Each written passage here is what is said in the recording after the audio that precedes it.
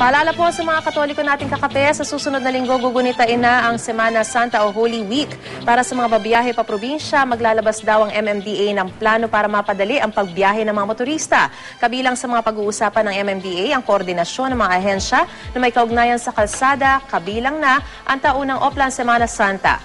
Base sa pagtaya ng MMDA, inaasahan sa Martes sa susunod na linggo magdaragsaan pa uwi ng probinsya ang ilan nating kababayan. Sa Pasko ng Pagkabuhay o Easter Sunday naman inaasahan darami ang mga babiyahe pabalik ng Maynila.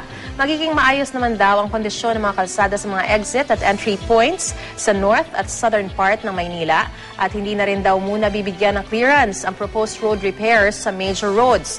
Wala namang itinataas na alert level ngayon ang PNP. Wala rin naman daw silang namomonitor na terrorist o security threat sa linmang panig ng bansa maliban sa Mindanao na matagal nang isinailalim sa full alert status. Magsaset up naman daw sila ng police assistance desk sa mga bus terminal, airport, malls at matataong lugar.